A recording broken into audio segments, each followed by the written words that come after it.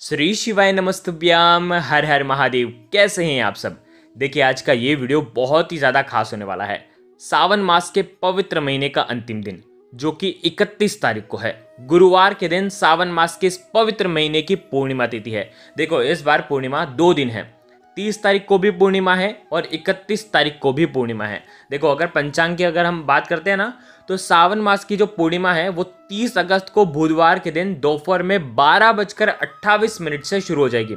जो कि 31 अगस्त को गुरुवार को सुबह आठ बजकर पैंतीस मिनट तक रहेगी। तो देखो 31 तारीख को भी उदया काल में ये पूर्णिमा तिथि आ रही है और 30 तारीख को पूर्णिमा की रात्रि मिल रही है। तो ये उपाय आप 30 को भी कर सकते हैं 31 को भी कर सकते हैं। जब आपकी इच्छा हो, तब आप ये उपाय कर सकते हैं। देखो, बहुत ही प्यारा सा दिन होने वाला है, क्योंकि रक्षाबंधन का पावन पर्व भी है। और ये पूर्णिमा बहुत ज़्यादा खास है, क्योंकि ये भगवान शिव की पूर्णिमा है। इसे शिव पूर्णिमा कहेंगे, सावन की पूर्णिमा कहेंगे सावन में व्रत भी किए होंगे, लेकिन अंतिम उपाय आपको ये ज़रूर करना चाहिए। देखो, बहुत ही प्यारे से चार महा उपाय के आज के इस वीडियो में बात करेंगे। देखो, ये उपाय बहुत ही ज़्यादा खास होने वाला है। मात्र सात चावल के दाने घिरा देना और आपकी सारी मनोकामना, सारी सारी इच्छाएँ जो है वो परिपूर्ण हो जाएगी। यदि आपके घर में डिप्रेशन भी होगा ना तो ये उपाय आपको करना चाहिए। अगर आपके घर में रोग भी होगा तो ये उपाय करना चाहिए। तो इस पूरे वीडियो को बिल्कुल ध्यान से समझना। चार महा उपाय के बारे में विस्तार से बताएँगे। पूज्य गुरुदेव की ही कथा सुन करके, समझ करके, समझाने का पूरा प्रयास करूँगा, लेकिन उससे पहले आप सभी से रिक्वेस्ट करता हूँ। चैनल पर अगर पहली बार आए हैं तो चैनल को ज़रूर सब्सक्राइब करें। देखो, सबसे पहला उपाय। यदि आपके घर में धन संपदा की बहुत ज़्यादा कमी है तो पूर्णिमा का जो दिन होता है, वो महालक्ष्मी को ही समर्पित होता है। पूर्णिमा के दिन चंद्रमा अपने पूर्ण कलाओं से युक्त होते हैं। तो देखो, करना क्या है? बहुत प्यारा सा उपाय है। सावन की पूर्णिमा है तांबे के पात्र के अंदर एक लोटा जल लेना, ठीक है? साथ में लेना है पाँच बेलपत्र। बेलपत्र कहीं से भी खंडित कटे फटे नहीं होना चाहिए, ठीक है? पाँच बेलपत्र ले लिए। साथ में लेना है मात्र एक कमल गट्टा ठीक है? कमल गट्टा ले लिया। और ये तीनों चीज़ आपको ले करके जाना है भगवान शिव के मंदिर में। तांबे के पात्र के अंदर आपको पाँच बेलपत्र डाल देना है और उसके बाद जो कमल गट्टा है वो भी जल के पात्र के अंदर आपको डाल देना है। और इसी जल से आपको भगवान शिव के शिवलिंग का अभिषेक करना है। जब आप करोगे ना जब आप जल अर्पित करोगे तब आपको चंद्रेश्वर महादेव का नाम लेना है। देखो चंद्रेश्वर महादेव का नाम लेना है और ये उपाय आपको प्रदोष काल के समय करना है। चाहे तीस तारीख को करना चाहो या इकतीस कर, तारीख को करना चाहो प्रदोष काल के समय ही ये उपाय करना। लगभग आप ये उपाय करना सात से नौ बजे के बीच में। आ गई आपको बात समझ में बहुत ही प्यारा सा उपाय है। जो भी व्यक्ति ये उपाय करता है, सावन की इस पवित्र पूर्णिमा पर, उसके घर में कभी भी धन धान्य की कमी हो ही नहीं सकती। क्योंकि कमल गट्टा जो है, वो धन प्राप्ति के लिए विशेष होता है। और इस सावन की पूर्णिमा पर अगर आप भगवान शिव के शिवलिंग पर इस प्रकार से उपाय करते हैं तो आपके घर में अष्ट लक्ष्मियों का भी वास होता है। तो ये उपाय आपको करना है। अब हम बात करते हैं दूसरे उपाय की, जो कि बहुत ही विशेष है। सात चावल के दाने वाला। देखो, यदि आप चाहते हैं ना कि आपके जीवन का भाग्य जो है वो चमक जाए, आप चाहते हैं कि आपके जीवन की सारी तकलीफें दूर हो जाए तो आपको ये उपाय करना चाहिए। जो भी व्यक्ति चाहता है कि वो भाग्यशाली बन जाए, वो ये उपाय करेगा। देखो, करना क्या है? बहुत प्यारा सा दिन है। देखो, चावल के दाने शीतलता को दर्शाते हैं, शांति को दर्शाते हैं, सुख को दर्शाते हैं।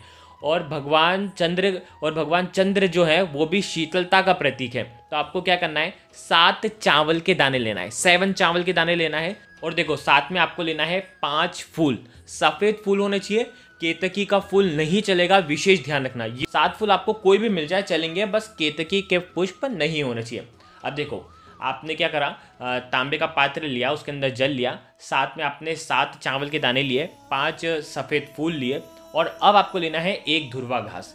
अब देखो, धुरवा घास ऐसी लेना जिसमें तीन पत्तियाँ हो, ठीक है? तीन ढूट हो, क्योंकि जहाँ से पत्ती उगेगी, वहाँ पर एक ढूट तो बनी जाता है। तो इसी प्रकार से तीन पत्ती वाला आपको धुरवा घास आपको लेना है।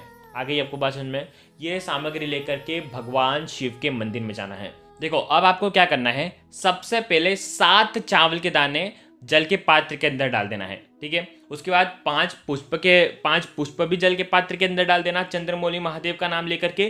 फिर उसके बाद एक दुर्वा घास भी आपको जल के पात्र के अंदर डाल देना है। अब इस उपाय को समझना। सारी चीज़ें आपने जल के पात्र के अंदर डाल दी। अब जब आप भगवान शिव के शिवलिंग का जब अभिषेक करोगे, तब इसका जो लोटे का जो मुख होगा, वो आपकी साइड होना चाहिए। इस प्रकार से आपको अर्पित करना है चंद्रमौली महादेव का स्मरण करते हुए। जो भी व्यक्ति ये उपाय सावन की पूर्णिमा पर करता है। देखो, भगवान शिव ने अपने मस्तक पर चंद्रमा को धारण कर रखा है। तो तो आप ये उपाय करते हैं, जैसे ही चावल के दाने हो, जैसे ही चावल के दाने हो गए, सफ़ेद पुष्प हो गए, जैसे ही भगवान शिव के शिवलिंग पर स्पर्श होते हैं तो आपके जीवन की सारी परेशानियाँ जो है, वो दूर होने लग जाती है। तो अगर आपको धन संबंधित परेशानियाँ हैं तो उसकी कामना करते हुए कि ये परेशानियाँ दूर हो जाए, ऐसे कामना करते हुए आपको ये सुंदर सा उपाय करना है। आपके जीवन के कष्ट जो है, वो निश्चित ही इस उपाय से दूर होंगे। बहुत ही प्यारा सा उपाय था। देखो, अब हम बात करते हैं तीसरे उपाय की। तीसरा उपाय बहुत ही ज़्यादा खास होने वाला है। देखो, यदि आपके बच्चे जो हैं, बहुत ज़्यादा सोचते हैं, बहुत ज़्यादा डिप्रेशन में रहते हैं, बहुत ज़्यादा तनाव में रहते हैं, आपके घर के लोग जो हैं, बहुत ज़्यादा तनाव में रहते हैं, बहुत ज़्यादा परेशानी आपके घर में है, आपके जीवन में है तो ये सावन की पूर्णिमा पर आपको उपाय करना है। बहुत ही प्यारा सा उपाय है। अगर इकतीस तारीख को ये उपाय करते हो तो सर्वोत्तम होता है। देखो, करना क्या है? थोड़ा सा शहद लेना है। एक बूंद शहद लेना एक चावल का दाना लेना, चावल का दाना खंडित नहीं होना चाहिए। साथ में लेना है एक बेलपत्र और साथ में लेना है कच्चा दूध, थोड़ा सा कच्चा दूध लेना, ठीक है, स्टील के पात्र के अंदर और उसके बाद शुद्ध जल लेना और एक खाली पात्र लेना, ठीक है। ये उपाय आपको करना है, ये सामग्री आपको लेकर के भगवान शिव के मंदिर में जाना है। तीस, इकतीस जब जा रहे हो, सुबह से लेकर के रात्रि तक जब आपकी इच्छा हो तब आप ये उपाय कर सकते हो, लेकिन रात्रि में जो महत्व होता है, क्योंकि पूर्णिमा तिथि है तो रात्रि में ज़्यादा महत्व होता है तो पूर्णिमा तो ये उपाय आप रात्रि में भी कर सकते हो। देखो, करना क्या है समझना। भगवान शिव के मंदिर में गए। आपको शहद से भगवान शिव के शिवलिंग पर ओम का निर्माण करना है। ठीक है? सीधे हाथ की चीठी उंगली के पास वाली जो उंगली है, जिसे अनामिका उंगली कहते हैं, अनामिका उंगली से ओम का निर्माण कर देना। अब इसी ओम के ऊपर ये एक चावल का दाना आपको अर्पित करना है। जब आप चावल का दाना अर्पित करोगे तो आपको प्रार्थना करनी है चंद्रमोली महादेव से कि जीवन के सारे संकट, सारे परेशानियाँ सारे कष्ट जो हैं, वो दूर हो जाए। हमारे घर में जो टेंशन रहती है, वो सब दूर हो जाए, ऐसी कामना करते हुए एक चावल का दाना आपको अर्पित कर देना है। अब इस चावल के दाने के ऊपर एक बेलपत्र अर्पित करना है।